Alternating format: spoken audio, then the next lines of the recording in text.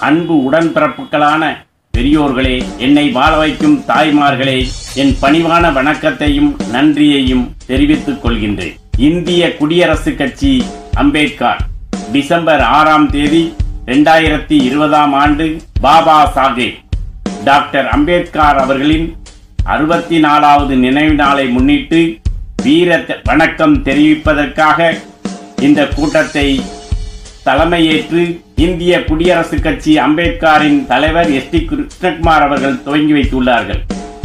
மாநில பொதுச் செயலாளர் ஏ. முத்து அவர்களே தானா விஜி அவர்களே இந்த கூட்டத்திற்கு வருகை தந்திருக்கும் மாநில கொள்கை பரப்பு செயலாளர் அவர்களே மாநில செயலாளர் ஜே ஜபீர் அலி அவர்களே மாநில இளைஞர் அணி தலைவர் சாந்தகுமார் அவர்களே இந்திய குடியரசுக் கட்சி அம்பேத்கர். வழக்கறிஞர் பிரிவு தலைவர் ஹானஸ்ராஜ் அட்வொகேட் அவர்களே ஏராளமான வழக்கறிஞர்களை ஒன்று திரட்டி ஹானஸ்ராஜ் அவர்கள் தலைமையில் இந்த பெரிய அணியை திரட்டியுள்ளார்கள். மாநில மருத்துவ அணி தலைவர் ஆர். சந்தோஷ் அவர்களே இங்கே வருகை தந்திருக்கும் மாநில பொறியாளர் அணி தலைவர் எம். வினோத் அவர்களே மற்றும் ஈரோடு மாவட்ட மகளிர் அணி செயலாளர்கள் எம். சோபனா அவர்களே மாநில மகளிர் அணி செயலாளர் எஸ். லதா அவர்களே மாநில செயலாளர் எம். சீஜா அவர்களே வட சென்னை கிழக்கு மாவட்ட மகளிர் அணி தலைவி நிர்மலா ராணி அவர்களே அறுபத்தொன்பதாவது வட்ட மகளிர் அணி தலைவி ஆரோக்கிய மேரி அவர்களே உங்கள் அனைவரையும் அன்புடன் வருக வருக என்று வரவேற்கின்றேன். நாமும் ஒற்றுமையாக செயல்பட்டு நம்முடைய ஜாதியை ஒழித்து சமத்துவத்தை உருவாக்குவோம் என்று அண்ணாலை விளைத்த இந்நாளில் இந்திய குடியரசுக் கட்சி ஆவின் சார்பாக சபதம் ஆட்சியில் உள்ளவர்கள் நல்லவர்களாக அமைய வேண்டும். அன்பு உள்ளவர்களாக நாணயம் இருக்க வேண்டும். ஏழை விவசாயிகள் மக்கள் மீது ஆதரவு காட்டுபவர்களாக கருணையும் மனிதாபிமானம் கொண்டவர்களாக இருக்க வேண்டும் மற்றவர்களுக்காக வாழ வேண்டும் என்ற தொண்டு செய்பவர்களாக இருக்க வேண்டும். சுயநலம் இல்லாமல் சேவை செய்பவர்களாக மட்டுமே இருக்க வேண்டும். மக்களுக்கு சேவை செய்ய வேண்டும் என்பது அரசின் கொள்கையாக இருக்க வேண்டும். ஏழை விவசாயிகளின் வயிற்றில் அடித்து துன்புறுத்தும் ஆட்சியாக அதிகாரத்தை வைத்து மக்களை அடிமையாக ஆக்கும் ஆட்சி அமையக்கூடாது. உடலில் உயிர் இருக்கும் வரை ஏழைகளுக்காகவும் நாட்டுக்காகவும் நாட்டு மக்களுக்காகவும் பாடுபடுவராக ஆட்சியில் உள்ளவர்கள் வந்தால் டாக்டர் அம்பேத்கரின் அவர்களின் வழியில் இயற்றப்பட்ட சட்டத்தின் திட்டங்களை அரசியல் சட்டமாக்க வேண்டும் என்று வீர சபதமேற்று எஸ் டி கிருஷ்ணகுமார் அவர்கள் பேசினார்கள். அவர்கள் பேசும்போது எல்லோரும் சமம் எல்லோரும் சமம் எல்லோரும் சமம் என்பதை நிலைநாட்ட பாடுபடுவோம் என்று சூளுரைத்து வெற்றி சபதம் கொண்டு பேசினார்கள். பாரத ரத்னா விருது பெற்ற டாக்டர் அம்பேத்கர் அவர்கள் எல்லோரும் சமம் எல்லோரும் சமம் என்ற ஒரு குரல் எடுத்ததற்காக இந்த மக்கள் அனைவரும் அவருடைய பாதங்களை தொட்டு வணங்குகின்றோம்.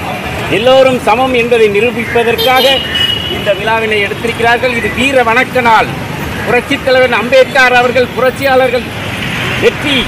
அமரர் டாக்டர் அம்பேத்கர் அவர்களின் லட்சிய கனவின் கொள்கைகளை திட்டங்களை சட்டங்களை கொண்டு தூய்மையான ஆட்சியை லஞ்ச லாவண்யம் இல்லாத ஏழை எளிய அம்பேத்கரின் தூய தொண்டர்களின் தோழமையை ஆட்சியை லட்சோப லட்சம் தொண்டர்களின் துணையோடு மக்கள் தீர்ப்பே மகேசன் தீர்ப்பு என்று அமைப்போம் என்று இந்திய மாநில குடியரசு கட்சியின் அம்பேத்கர் கட்சியின் மாநில மகளிர் அணி செயலாளர் சுமதி அவர்கள் தேர்தல் வாக்குறுதியாக பேசினார்கள். இந்திய குடியரசு கட்சியின் அம்பேத்கர் அவர்களின் மாநில தலைவர் அவர்கள் எப்படி உள்ளம் கொண்டவர்கள் என்பதை இந்த மேடையிலே உங்களுக்கு தெரிவிக்கின்றேன். பூவிதலின் மென்மை உள்ளம் புனித உள்ளம் அன்பு உள்ளம் கட்சியில் எல்லோரையும் அரவணைக்கும் பண்புள்ளம் அரவணைக்கும் அன்னை உள்ளம். மா பலா வாழை முக்கணியும் தோற்றுவிடும். அவர் அன்பு தமிழ் மொழியில் தமிழனுக்காக படைக்கும் அஞ்சா நெஞ்சம் வீரம் கொண்டு தங்கே முழங்கு போர் முரசு கொட்டட்டும் என்ற வீரத்தமிழன் தங்கத்தின் சிங்கம் தங்க தமிழ் மறவன் ஏழைகளின் வல்லன் அம்பேத்கரின் கனவை நிறைவேற்ற வந்த தலித் பெண்களின் மானம் காக்க வீர சபதம் ஏற்று தலைவர் பதவி ஏற்றுக்கொண்ட தங்க தலைவன் கிருஷ்ணகுமார் எஸ்பி அவர்களினான வாக்குறுதிகளை உங்கள் முன் பேச கடமைப்பட்டிருக்கிறேன். கிருஷ்ணகுமார் அவர்கள் தூய்மையான ஆட்சியையும் படித்தவர்கள் போற்றும் ஆட்சியையும் இந்திய குடியரசுக் கட்சி மாநில தலைவர் எஸ் சி கிருஷ்ணகுமார் அவர்களின் தேர்தல் வாக்குறுதியாக இருக்கிறது. அரசு உயர்வு தாழ்வு ஒழிக்க பாடுபடும். ஜாதி மத பேதங்களை மூட நம்பிக்கை ஒழிக்க வேண்டும் என்ற அம்பேத்கரின் லட்சியம் நிறைவேற்ற பாடுபடும் தாழ்த்தப்பட்ட பிற்படுத்தப்பட்ட மக்கள் பொருளாதார வளர்ச்சி அடைய பாடுபடும். தொழிலாளர்கள் விவசாய பெருங்குடி மக்களுக்காக வாழ்வதற்கு திட்டம் அமைக்க பாடுபடுவோம். தொழிலாளர்கள் நல்வாழ்வுக்காக பாடுபடுவோம். பின்தங்கிய கிராமப்புற திட்டங்களை நகரமாக மாற்ற பாடுபடுவோம். இந்திய விவசாயிகளுக்காக நாங்கள் முதல் குரல் கொடுக்கும் இந்திய குடியரசுக் கட்சி என்பதை தெரிவித்துக் கொள்கிறோம். மக்கள் ஆட்சியை மக்களே நிர்ணயிக்க வேண்டும் என்பதுதான் மக்கள் தீர்ப்பு. ஆகையால் இன்று இருக்கும் அரசு மக்களுடைய வரிப்பணம் மக்களுக்காகவே செலவிடப்பட வேண்டும். அமரர் டாக்டர் அம்பேத்கர் அவர்களின் சட்ட திட்டங்களை நிறைவேற்ற வேண்டும். இதுதான் ஒரு தூய்மையான ஆட்சி மக்கள் ஆட்சியாக அமைய வேண்டும். அதற்கு நாம் எல்லோரும் ஜெய் பீம் ஜெய் பீம் ஜெய் பீம். இன மக்களுக்கு தீங்கி யாரேனும் எண்ணினால் எதிர்த்து குரல் கொடுக்கும் பெண்களுக்கு எதிராக யார் தவறு செய்தாலும் அவர்கள் தனக்கும் தன் கட்சிக்கும் எதிரி என்று போர்படை இத்தலைமை பொறுப்பேற்று விவசாயிகளுக்காகவும் தமிழ் மக்களுக்காகவும் நீதிக்காகவும் போராடும் சிங்க தலைவர் எஸ் டி கிருஷ்ணகுமார் அவர்கள் மேடையிலே வீட்டிருக்கிறார். இந்திய குடியரசு தலைவர் என்பவர் யார்? இந்திய அரசின் தலைவராவார். மத்திய நிர்வாகக் குழுவின் தலைவரும் கூட்டாட்சி நிர்வாகத்தின் தலைவரும் இந்திய ராணுவத்தின் முப்படைகளின் தலைமை தளபதியும் ஆவார். இந்தியாவின் முதல் குடிமகன் என்று அவர் குறிப்பிடப்படுகிறார். உலகில் முதல் மனிதன் தோன்றியது குமரி மாவட்டம் குமரி கண்டம் அவன் முதல் முதலில் பேசிய மொழி தமிழ் மொழி என்பதை உங்களுக்கெல்லாம் தெரிவித்துக் கொள்கிறேன். இன் 1927, Dr. Ambedkar organized and led a march at Mahad, Maharashtra that eventually helped establish the equal rights for untouchable people who were not allowed to touch or ever taste the water of சவுதார் lakh ஒரு புதிய மனிதனை சந்தித்தது இந்த உலகம். ஒரு புது மனிதனை பார்த்தது. அவன் மாயக்காரனா அல்லது மேஜிக் மேனா என்று அதிர்ந்தது.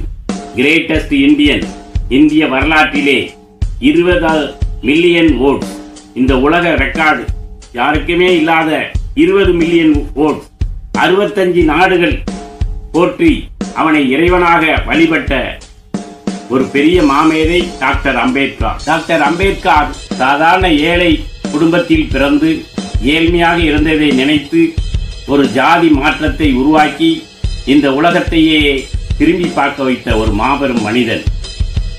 கடைசி காலத்தில் அமெரிக்காவில் உள்ள வெள்ளை மாளிகையைப் போல ஒரு பங்களாவை கட்டி அந்த பங்களாவில் ஒரு பெரிய காட்சியளிக்கும் பெரிய அரண்மனை போல ஒரு வீட்டினிலே இருந்தார். அந்த வீட்டினை தலித் மக்களுக்காகவும் புத்த மதத்துக்காகவும் அதனை தியாகம் செய்து ஏழை எளிய மக்களுக்கு சேவை செய்ய வேண்டும் என்று ஒரு பெரிய கோட்பாடுடன் அந்த பெரிய பங்களாவை ஏழை மக்களுக்காக தியாகம் செய்து எழுதி வைத்தார். அவர் இறைவன் என்று எல்லோரும் புகழும்படியாக உள்ளவர். நாட்டிலே மக்களாட்சி அமைத்து மக்கள் முன்பு மன்னனாக வாழ வேண்டும் என்று நினைப்பவர்களுக்கு எல்லாம் ஒரு நல்ல அரசை தேர்ந்தெடுக்க வேண்டும். மனிதன் வாழ்வது புத்தம் சரணம் கச்சாமி. புத்தம் சரணம் கச்சாமி. தர்மம் சரணம் கச்சாமி. அன்புதான் இன்ப ஊற்று அன்புதான் இன்ப ஊற்று அன்புதான் இன்ற ஊற்று. சாதி அற்ற ஒரு நல்ல ஆட்சியை நாம் அமைக்க வேண்டும். ஜாதி இல்லை என்ற ஒரு கோட்பாட்டை அம்பேத்கரின் கோட்பாட்டை கொண்டு வர வேண்டும். அதற்காக நாம் இன்று வீர வணக்கம் நாளில் வீர சபதம் ஏற்போம். ஜெய்